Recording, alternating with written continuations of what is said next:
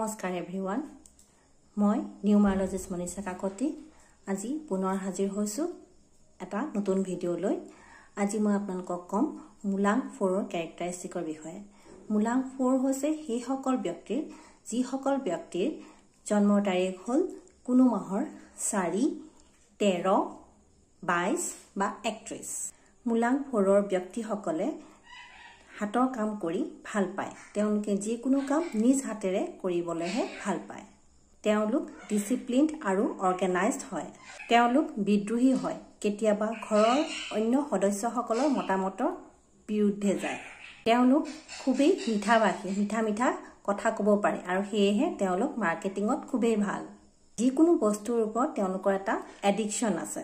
তেওঁলোক practical logical loyal আৰু conservative হয়। তেওঁলোকৰ অলপ প্ৰাউডো আছে। তৰ্কও কৰিব পাৰে।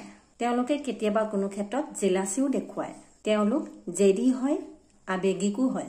হাৰ্ডৱৰ্ক কৰাৰ ফলতহে তেওঁলোকৰ হাতলৈ টকা পইচা আহে।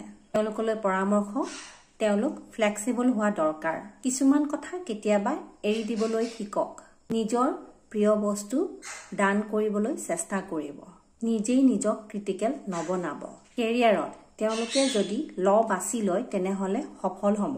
যদিহে কোনো ডিফিকাল্টি থকা লাইন তেওঁলোকে চিলেক্ট কৰে তেনেহ'লে তেওঁলোক ছাকচেছ হ'ব পাৰে। ত' ফ্ৰেণ্ডছ আজিলৈ ইমানেই। পুনৰ লগ পাম মোৰ পিছৰটো ভিডিঅ'ত। Thank U